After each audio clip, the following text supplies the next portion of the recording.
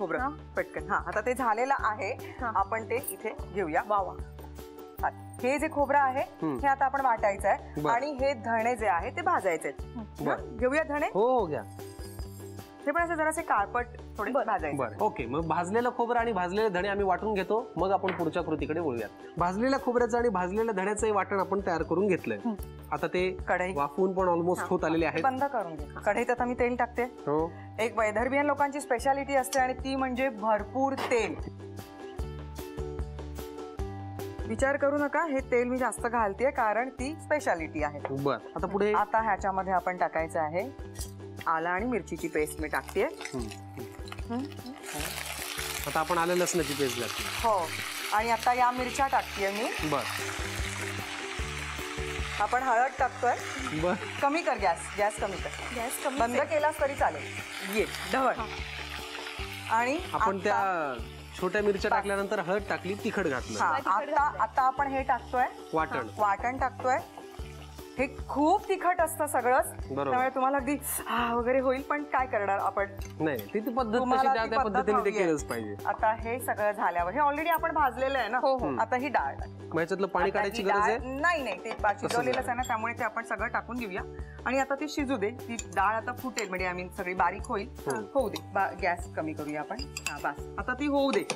ती चांगली झाली की मग आपण ते टाकायचं. ठीक आहे? ती होत राहील. बरं आता आपण याच्यामध्ये डाळ घातली. ह्याला शिजायला किती वेळ लागेल? साधारणतः पाच मिनिट. पाच मिनिटं. आणि मग ते शिजून झाल्यानंतर ते जे आपण मुठे तयार लागलं केले की ते मोठे उकळायला लागलं की ते मोठे टाकायचे आणि वरून मीठ टाकायचं. अच्छा. मीठ अजून आपण घालायचं शिल्लक ठेवलंय. हा, सगळ्यात म्हणजे आपण. जी मटार पुरणपोळी करतोय त्याच्यासाठी लागणारी पुरणपोळी आपण तयार केली. त्यानंतर मुठे तयार केले ते वाफवून घेतले. आणि आता ही डाळ आपण शिजत ठेवली आहे. बरोबर. चला मग आता आपण एक काम करूयात. हे जरा उकळी आली याला. की आता आता मुठे त्याच्यामध्ये सोडूया. आलीच आहे ही उकळी. चला सोडा. हळू टाक ह्याच्यावर टाक. येस वड्याची आमटी म्हणतात ना याला? येस वडा रस्सा म्हण वड्याची आमटी म्हण. आता हे उकळणार ह्याला जास्त नाही ढवळायचं कारण काय होईल ते फुटून जातील. मीठ तू टाकायचं बाई. बर. मग असे तुम्ही कबूल केल्याप्रमाणे तुमच्या हातनं मीठ जरा जास्ती पडतं. राधिका व्यवस्थित एकदम. आता काय? आपण हे बंद करायचंय. आणि हे दोन टाकायचं नाही तर मग काय होणार? कोथिंबीरचा रंग काळा होऊन जाईल. बंद केलेलं आहे. किसलेलं खोबरं जे सुकं आहे हा बर, सुकं बर. खोबरं किसलेलं आहे आपण. आणि ही कोथिंबीर टाकायची दिसायलाही छान दिसतं. छान दिसते. क्या बात है. विदर्भाची स्पेशल मटार पुरणपोळी आणि वड्याची आमटी तयार झालेली आहे. आम्ही हे दोन्ही एकत्र प्लेटमध्ये छान सजवतो. तुम्ही पाहून घ्या रिकॅप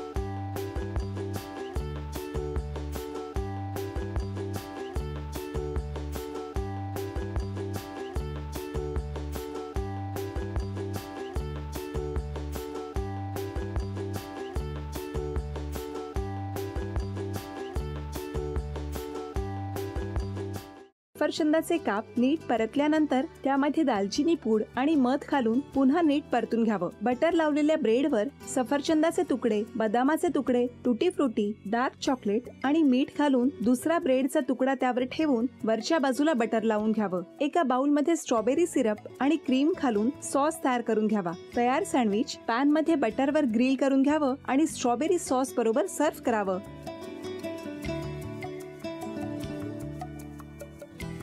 हे जेव्हा बोलत होते तेव्हा मी बघत होतो की या दोघांनी स्वतःचा संसार उभा केलाच. पण स्वतःच्या संसाराबरोबर अनेकांच्या आयुष्यात आनंद निर्माण केला. तो आनंद महत्त्वाचा. हसत राहा आनंदी राहा. असं म्हणत शुभेच्छा देऊया. आणि ही झी मराठीकडून भेटवस्तू डेव्हिड तुमच्यासाठी. अभिनंदन. आणि वहिनींना तथास्तू पुणे यांच्याकडून ही पैठणी. अभिनंदन.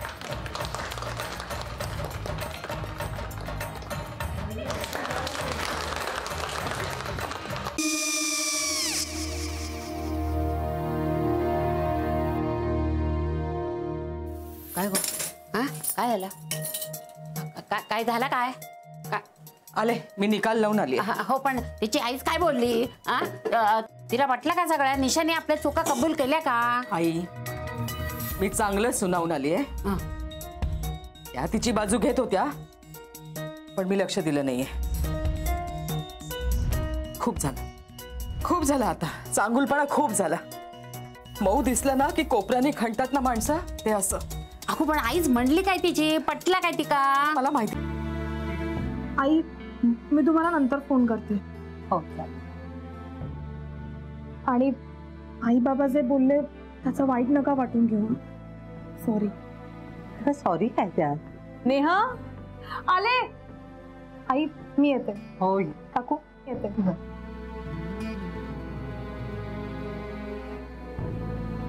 सावकाश जाग. हो हो.